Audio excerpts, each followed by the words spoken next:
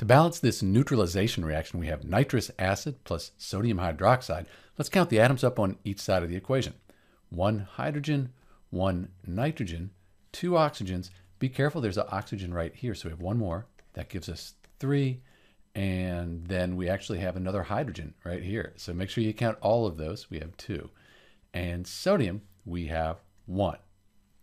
On the product side, we have two hydrogens, nitrogens, we have one, oxygens, we have two, plus we have one right here, that gives us three.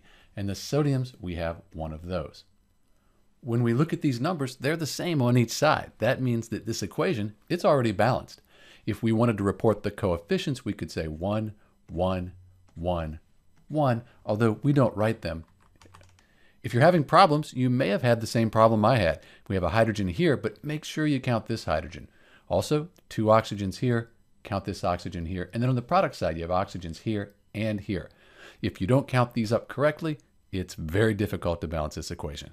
This is Dr. B with the balanced equation for HNO2 plus NaOH, and thanks for watching.